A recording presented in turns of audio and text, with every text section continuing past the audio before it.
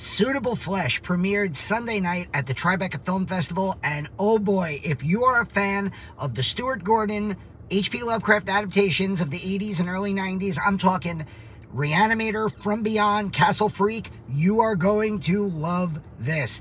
This has all those Stuart Gordon and H.P. Lovecraft things, but with that twisted mentality that only Joe Lynch can bring as a director. You have the queen herself, Barbara Crampton, there. Heather Graham is fantastic in this. Judah Lewis puts in a star making performance. This movie is insane. It is sexy. It is gory.